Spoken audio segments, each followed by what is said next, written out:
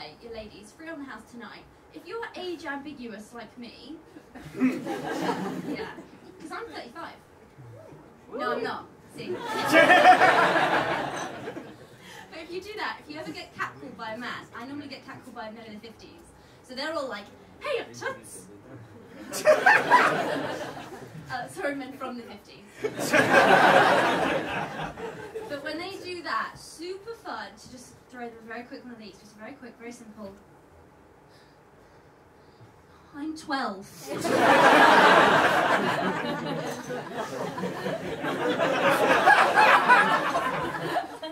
the look on a man's face when he thinks he's accidentally been a paedophile.